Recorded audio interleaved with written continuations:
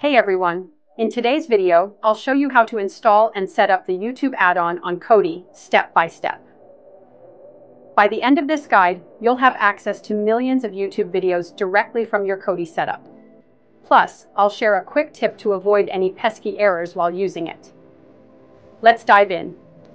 First, head to the add-on section on the Kodi home screen. On the top left, you'll see three icons. Click the open box icon, then choose Install from Repository. Next, select Kodi Add-on Repository, go to Video Add-ons, and find YouTube. Once you click Install, wait for the confirmation message to pop up. All right, the YouTube add-on is now installed. But here's the deal.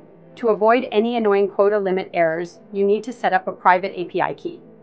Don't worry, I'll guide you through it. Head to the Google Cloud Console and create a new project. Once that's done, enable the YouTube Data API v3 and create credentials like your API key, client ID, and client secret. Save these for later.